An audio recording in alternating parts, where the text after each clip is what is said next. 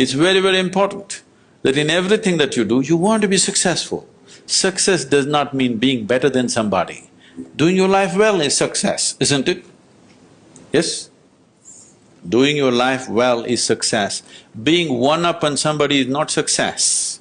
So if this has to happen, the two main ingredients for your success in the world is your body and your mind, you must be able to harness them in the best possible way, yes?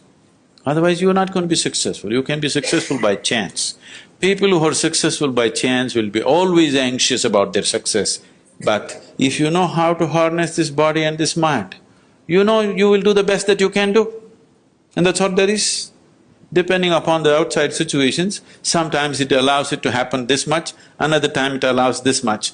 But this much or that much is not success. You're doing it well, that's success, isn't it?